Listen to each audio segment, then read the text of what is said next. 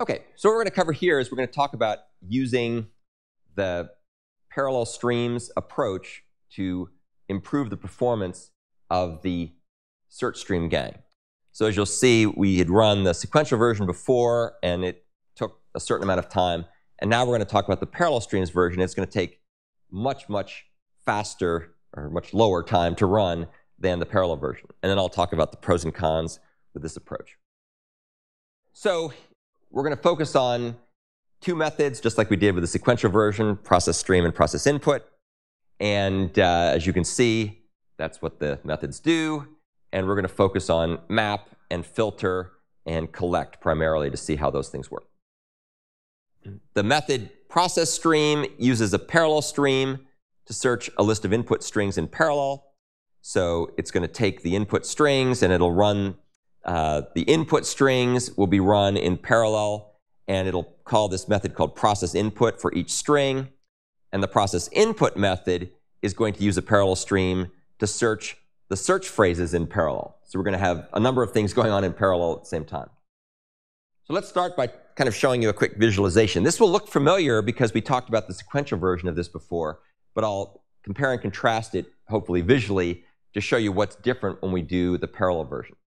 So it starts out by having a list of input phrases. We're just going to focus on the, uh, this is the, uh, this is visualizing how this thing works for search phrases. We have a list of input phrases to find, and what we call parallel stream, that's going to end up basically partitioning the input by using a spliterator up into multiple substreams, which are chunks of the input that are processed, chunks of phrases or chunks of input strings that are going to be processed in parallel that ends up with an output stream of phrases defined. And notice the key thing to, to differentiate this from the sequential version we looked at before is that the sequential version ran everything in one thread of control, whereas this version is going to run some of the chunks in one thread and some of the chunks in another.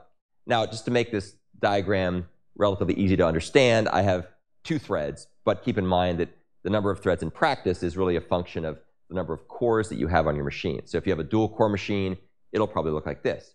If you have a quad core machine, it'll probably have four chunks going in parallel. So all these chunks are processed in parallel on separate threads or cores. And it's sort of an implementation decision how big each chunk is. Then what happens is the, the stream of phrases to find is piped into the map portion. Map will search for the phrases in each input string in parallel. So these guys will run in parallel to those guys. So that's what's different from the sequential version. That outputs a stream of search results. We turn around and run that through uh, a filter operation, which will look for the input phrases in the strings in parallel, all right? So you kind of get a consistent theme here. We're doing the same thing we did with the sequential version, except now we're doing it in parallel for everything. So it's good, these guys are going to run in parallel for those guys. And that'll then produce an output, which is again fed as the input into collect. And collect will now go ahead and trigger the intermediate operation. So that's actually where the computations get done. Everything else is just setting up the stage for doing this. And then the processing will all run on the multiple threads and the multiple cores. And then the results will be joined back together in the originating thread. I'll talk about that in a second because that's important to understand the originating thread is going to put it all back together again based on the so-called encounter order.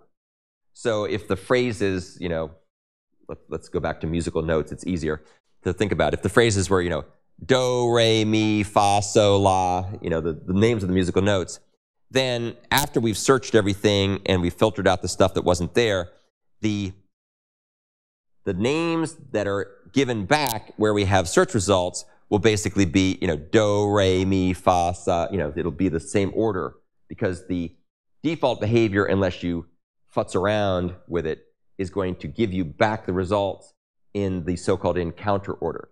So if we encounter the phrases in some order, the computations will all run independently and in whatever non-deterministic order that's most efficient, but the results will be put back in so-called encounter order. If you don't like that, you can just give a flag that says unordered, and it'll give them back in some non-deterministic order. Any questions about that?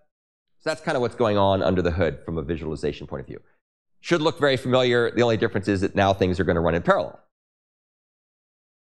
Keep in mind also, just to reiterate this point from earlier, the actual behavior is not quite the same way as the visualization. It's, it's actually goes, um, each input source is run through all the processing operations, and that's what is happening. So it doesn't go, you know, line by line, it goes top to bottom. But it's easier to think about it, typically, if you think about it sort of going in this other order.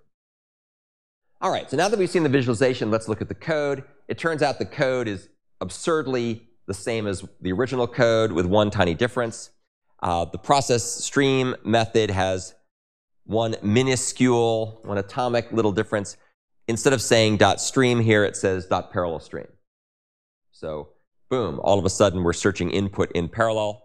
Uh, this code here, which is calling process input, will run in parallel uh, looking for the phrases. And under the hood, of course, this is going to be using a spliterator to split things up into chunks. So those things will be running in parallel. And the input strings are decomposed by the spliterator that's called for the parallel stream factory method. And those input strings are, are subdivided up into these sub input string chunks. And then those things are fed into the fork join pool to be processed in parallel. So the chunks of input strings are processed in parallel in the common fork join pool. Um, so, and that's all there is to it, right? Really, really simple. Likewise, process input is also ridiculously simple. Um, you say parallel stream instead of stream. Wow, that was a big change. And then all of a sudden, the phrases are also looked up in parallel in addition to the strings being looked up in parallel. And here we have a call to search for phrase. We'll look at this in more detail later. We looked at it earlier when we were talking about spliterators in the sequential version. And the key thing to note here is this is going to search for a given phrase in a given input string on, uh, under a given title like Hamlet or Macbeth or whatnot. And by passing in the value false here, that says don't search for the phrase, don't take the input string itself and further decompose it in parallel. Take each input string and search for a phrase in that input string in parallel with the other phrases that are being searched for, but we don't break the input string up into chunks. So that passing in false says don't splitterate them in parallel. We'll come back and relax that restriction in just a second. So once again, phrases are now split up, and those things are given to the fork join pool and those things are run in parallel as well. So chunks of phrases are run in parallel, chunks of input strings are run in parallel.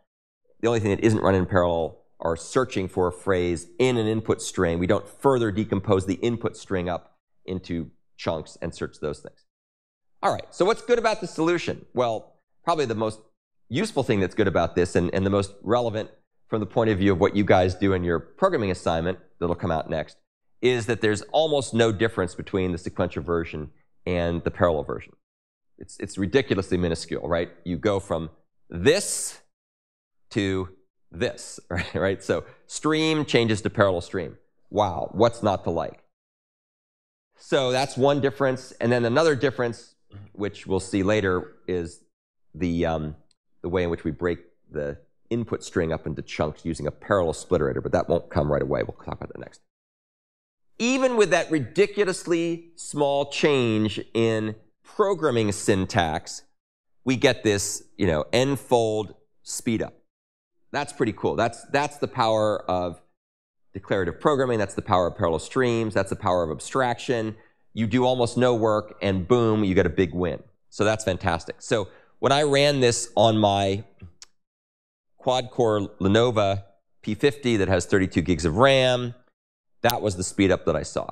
Um, when I ran the same code on this computer, which is my quad-core MacBook, which as you can see has a slightly faster processor, it's 2.9 gigahertz versus 2.7 gigahertz, but it only has half the RAM. Some interesting things occurred. Number one, notice how the parallel streams version, uh, notice number one, everything runs faster. So that clearly shows the MacBook is a faster computer than my Lenovo. So the overall performance is, is faster. So even in the sequential version, this one is running faster. Also notice that parallel streams runs faster than everything except the parallel spliterator version. Whereas over here, parallel streams was faster than sequential streams, but a little slower than the versions that use completable futures. And we'll come back and talk about that when we get to completable futures later. The main issue here is that completable futures have lower overhead, but they can take more, they, this particular implementation uses more memory. So of course, on a machine with lots of memory, this ran really fast. On a machine without as much memory, it was still darn fast, but it wasn't quite as fast as this version. The main point of this is just your mileage may vary, right? So you, you aren't guaranteed to get always get the same results depending on what your input looks like, depends on how your implementation works, depending on which version of streams you're using, depending on the hardware, the memory, all those good things. Yes?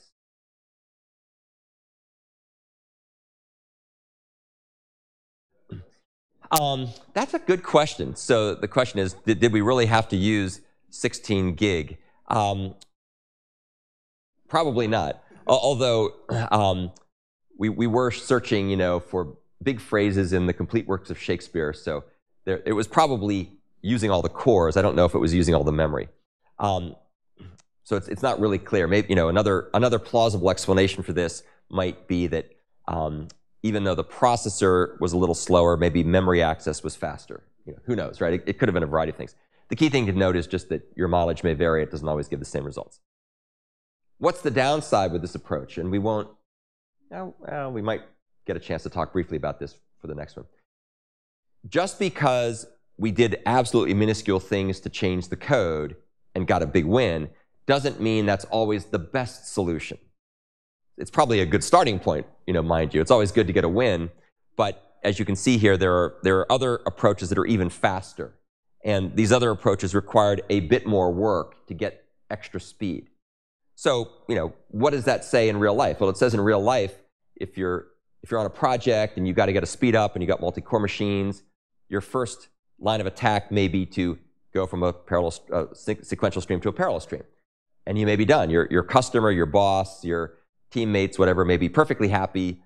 You take the rest of the day off.